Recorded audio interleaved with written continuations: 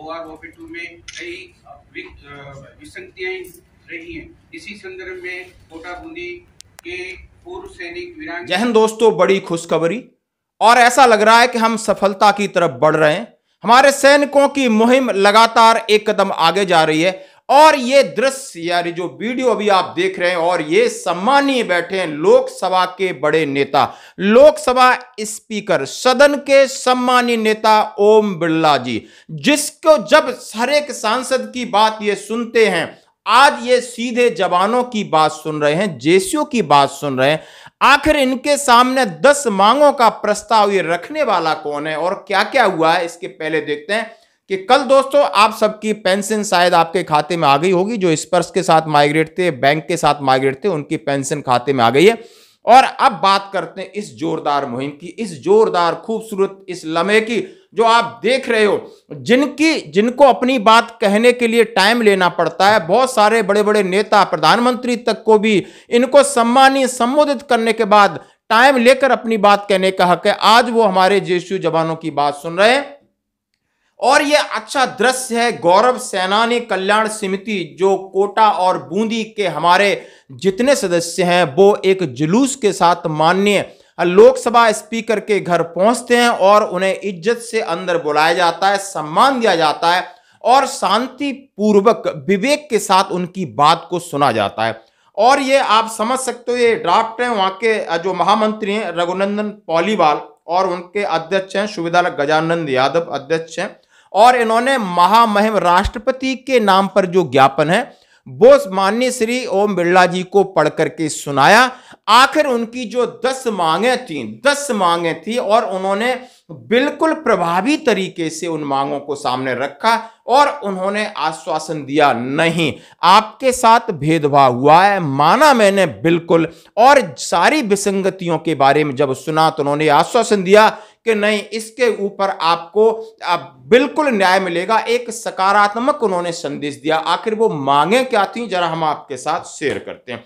सबसे पहले one rank one pension की विसंगति और विसंगति के कारण। उन्होंने बताया कि आपका पे मैट्रिक्स लेवल और 2016 को कम कर दिया गया और मैक्सिमम और मिनिमम के एवरेज से हमारी बेसिक पेंशन को रखा गया। इस वजह से 2016 के बाद के जो रिटायरीज हैं, उन सब की बेसिक पे भी पुराने वालों से कम है। जब पुराने वालों से कम हो गई तो स्वाभाविक है कि उनकी पेंशन कम हो गई और इसमें सुधार की आवश्यकता है।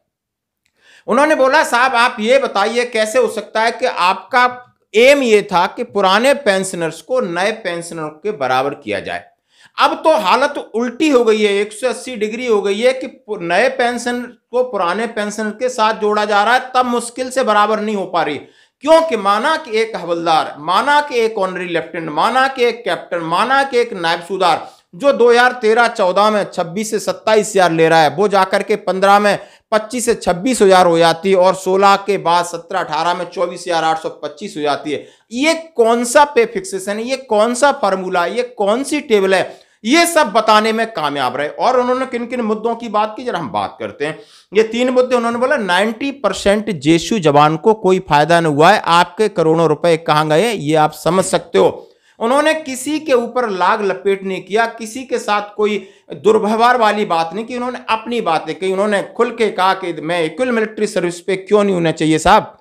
हम जेसीयू जवान है, हमें पाँच हज़ार दो सौ, हम जेसीयू है, जवान एक कैटेगरी में रख दिया और दो कैटेगरी पंद्रह हज़ार पाँच सौ सेना के अधिकारियों को दी गया और मिलिट्री नर्सिंग अफसर को जो कि नॉन कॉम्बिटेंट हैं, उनको आप दिए जा रहे हैं और हमें हमारी नजरअंदाज किया जा रहा है। जब लाइफ रिस्क काम, मेहनत, तंगी, सेना का पिवट हम हैं, आखिर ये रिस्क अलाउंस हमें इतना कम क्यों दिया जा रहा है? ये बात कहने में कामयाब रहे।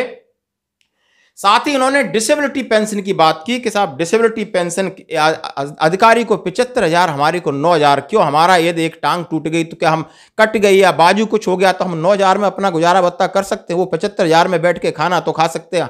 हम कहाँ जाएँगे? हमारे बीवी बच्चे क्या करेंगे? इस बात को उन्होंने कहा। एक्स ग्रुप की विसंगति, जो कि कोर्ट में केस है कि 2016 के बाद आने वालों को बासठ दे रहे हो, पहले वालों को 3600 क्यों? जबकि आपका आधार है कि सबको समान मिलना चाहिए तो फिर ये समान में विसंगति ऐसी क्यों?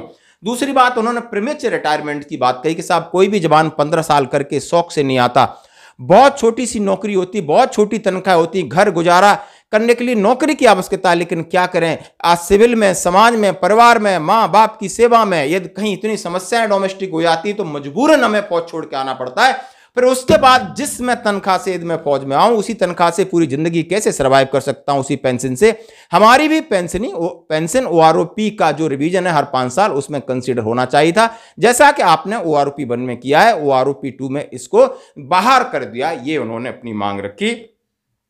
उन्होंने रखा कि time scale promotion time scale promotion हमें मिलना चाहिए। कि सेना के अधिकारी का फिक्स है कि कैप्टन इस सर्विस में बनेगा मेजर आठ साल में बनेगा लेफ्टिनेंट कर्नल तेरह साल में बनेगा कर्नल बोर्ड से बनता है, नहीं तो पच्चीस साल में बनेगा। इसी तरह हमारे जैसु जवान की हालत है, एक जवान है, वो बीस साल सर्विस कर रहा है, हवलदार है। किसी के प्रमोशन का किसी को पता नहीं, मिलेगा या नहीं मिलेगा मिलेगा तो कम मिलेगा, ताकि वो भी अपनी एक फ्यूचर प्लानिंग कर सके। यदि आउट ऑफ़ टर्न प्रमोशन नहीं मिलता है तो टाइम स्केल प्रमोशन को हमें दिया जाना चाहिए।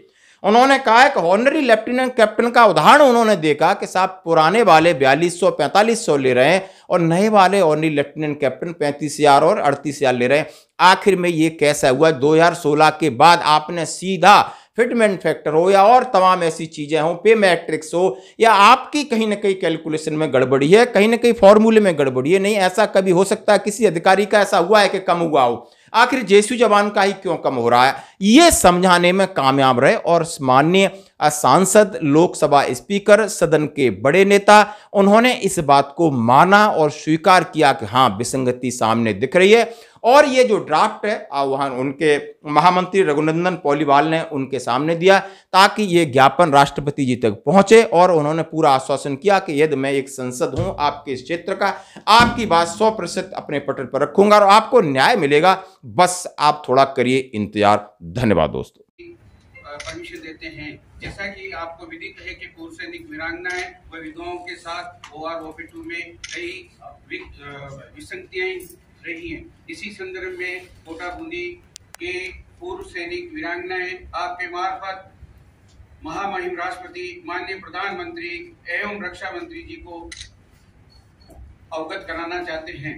इन विसंगतियों के बारे में चर्चा करके दूर करने की कृपा कीजिएगा।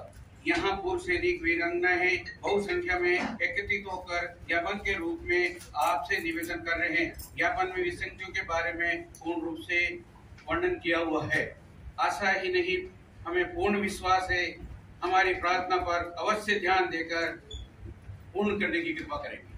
जय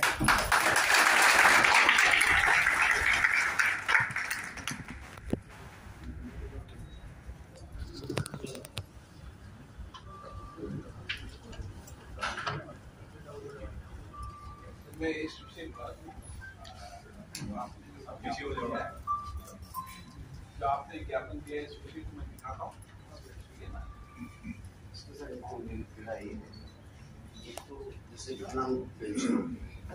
एक अधिकारी का है, जवान का है। तो ठीक उनकी पेंशन जाती है अधिकारी तो होना चाहिए, पर जो डिसेबिलिटी है, वो सभी इक्वल होना चाहिए। जैसे विधवा पेंशन है, विधवा जवान की भी अधिकारी होती है तो उसमें बहुत बड़ा किया उसके ऊपर एक एम एस पी है उसमें भी अफसर में जवानों में जबकि सबसे ज़्यादा लाइबिलिटी मिलती जवान और उनका उसमें बहुत ज़्यादा डिफरेंस है ये मोटे मोटे चीज़ है कौन से मतलब ये बात कर लेता हूँ आवश्यकता आपको सर एक हाँ